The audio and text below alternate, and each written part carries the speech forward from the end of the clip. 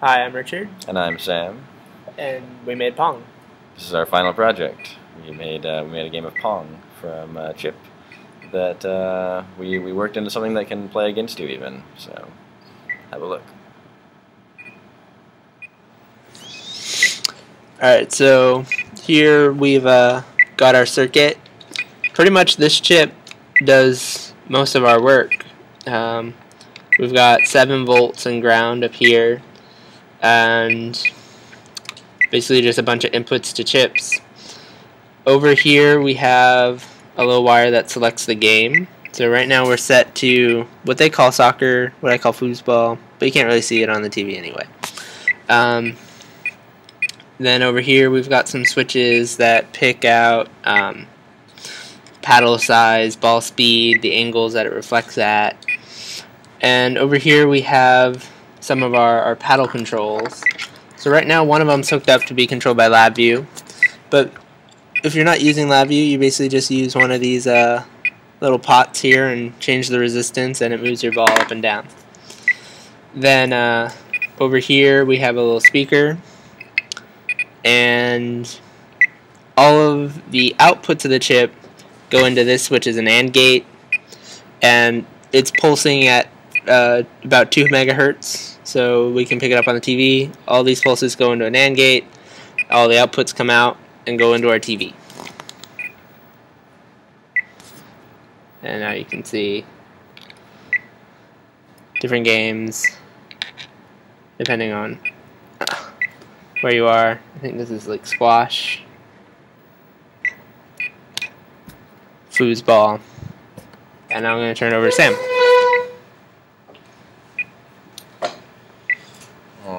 So there were some some definitely some tricky parts to this circuit. Um, one of the the trickiest parts was actually that the inputs for the bats were not as simple as they, they first appeared. Um, the the bats have an RC circuit that is connected into the just like an input for for the paddle, I guess is what they they call it, and um,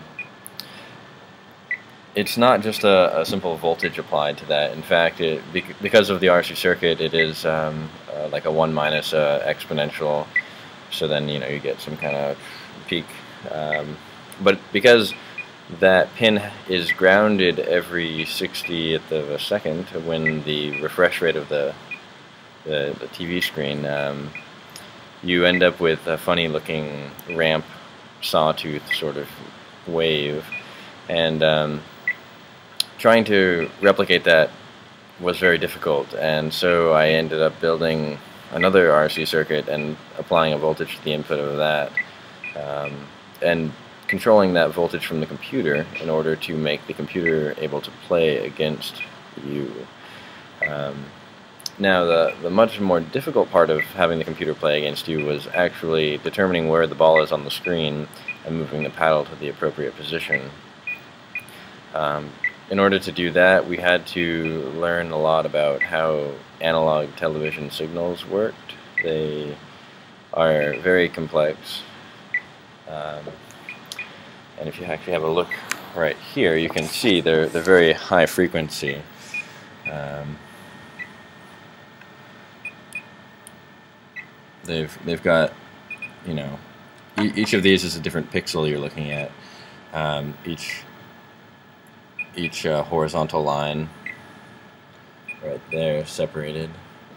Um, and, and so the, the task was, of course, to, to be able to determine where the ball is in all of that mess and then feed it into LabVIEW, uh, which, which ended up being quite a, quite a task. So I'll, I'll give you a quick look here at, at what the LabVIEW code looks like. So on our, on our front panel here, we've got quite a mess. Uh, you can see all of our, our, our video just like on the oscilloscope over there.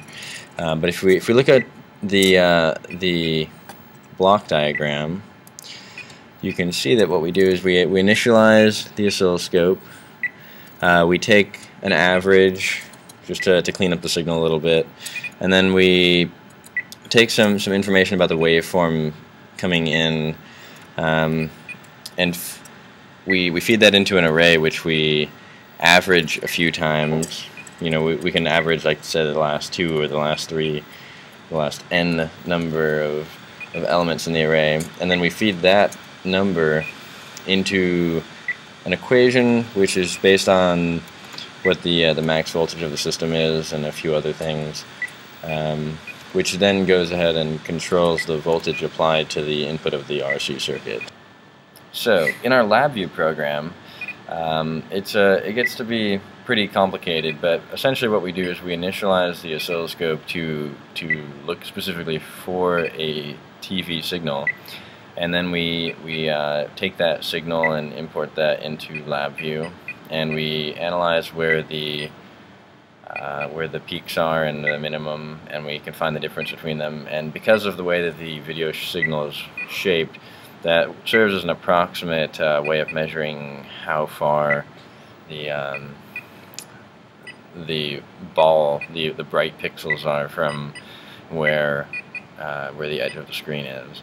And by taking some some averaging, we're able to to get an approximate idea of that. Um, the video signal is you know almost inherently pretty pretty jumpy, and so especially considering how fast it is, it uh, it is difficult to to get a a hold of any sort of pulse that we're looking for.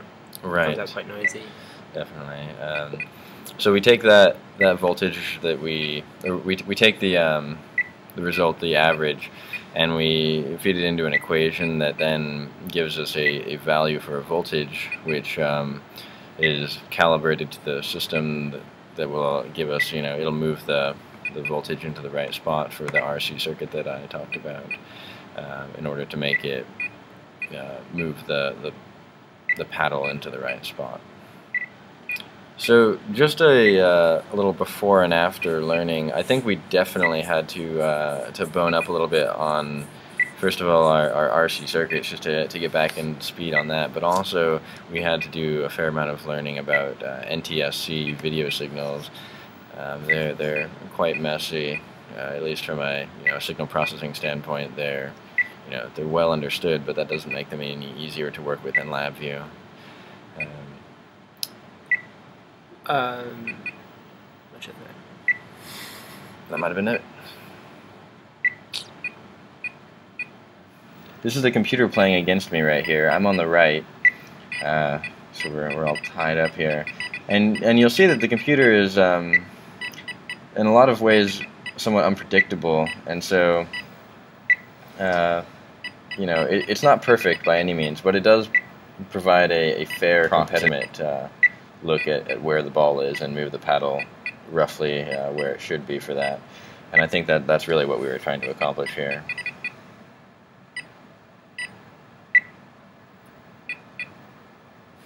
All right, now So just like, to have a have a look at two uh, real humans playing a game. Let's let's start a new game here between between Richard and myself. Might wanna might have to turn up the heat here a little bit. Turn up the, the speed of this game. Get the little tiny paddles on. Oh man, this is this is rough.